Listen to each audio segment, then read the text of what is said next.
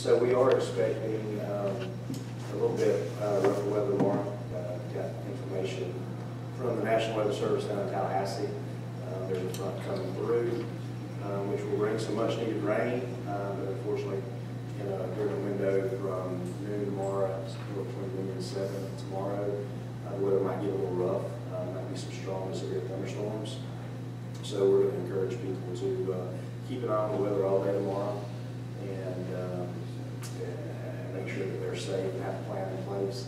Uh, And uh, the conditions are going to stay in place. So we'll have one round tomorrow and uh, probably look at another round Friday, some additional information.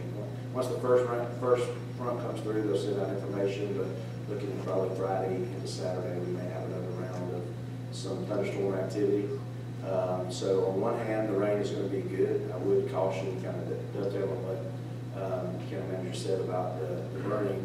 Um, You know, I would caution people not to uh, feel like because we got some rain that everything's in the clear. Um, This rain is probably as dry as we were. It's going to dry pretty quickly.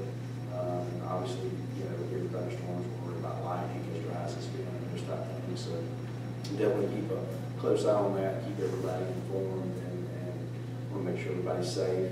And, um, then once the, the front moves through tomorrow, our temperatures Thursday and Friday will drop. The highs will be in the low seventies, the highs will be in the upper sixties, and then once the second front, so we'll call tomorrow a cool front, Friday will be a cold front. Um, and Saturday, our, our low temperatures will be down in the, uh, low thirties, upper twenties, so we're I mean, we got one more little, little cold snap, um, before we get, uh, the true summertime